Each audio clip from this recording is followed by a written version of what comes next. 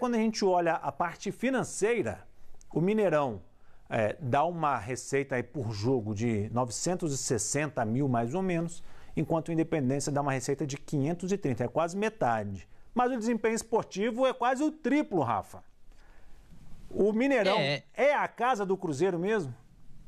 Cara, é a casa do Cruzeiro, né? O problema é que o Cruzeiro é, demora a chegar a um acordo com a Minas Arena, e aí depois tem todo aquele impasse por conta do gramado, por conta dos shows, e a pior fase do Cruzeiro na temporada acaba sendo direcionada para o momento no qual ele volta ao Mineirão.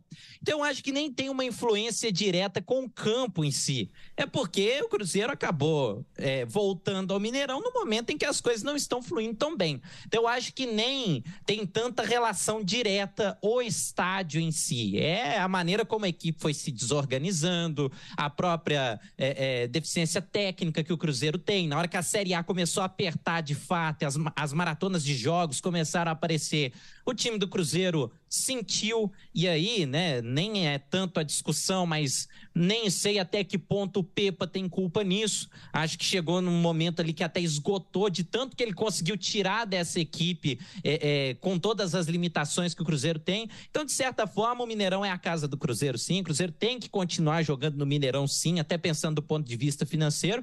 Tem agora que arrumar a casa, se organizar, o Zé Ricardo dar uma organizada na equipe, porque da maneira como o Cruzeiro joga atualmente, jogou os últimos jogos, seja no Mineirão, seja no Independência, vai passar muita dificuldade, viu, André? Você, Clara Nazário, você mandaria os jogos do Cruzeiro, Independência ou Mineirão?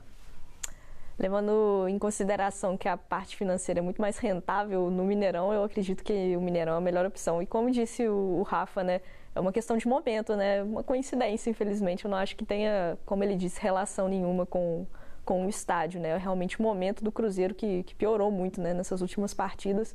Então, pela questão rentável, eu escolheria o Mineirão.